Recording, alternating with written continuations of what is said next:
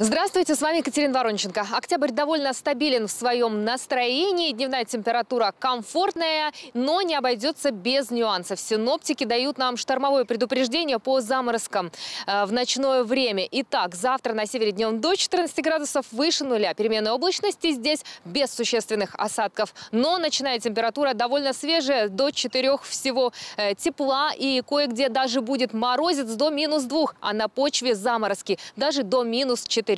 В центральных районах Дубасарах и Григориополя днем до 15 с плюсом, также переменная облачность. И здесь осадков не предвидится, зато ночная температура до 4 выше нуля. И здесь тоже немного ниже нуля может опускаться температура, то есть будет морозец. На юге э, у нас э, картина похожая. 13-15 выше нуля переменная облачность, тоже без осадков. Ветер северо-западный 6-9 метров в секунду. Ночью температура до 4 с плюсом. И тот же морозец слабый ожидается, а на почве заморозки до минус 4.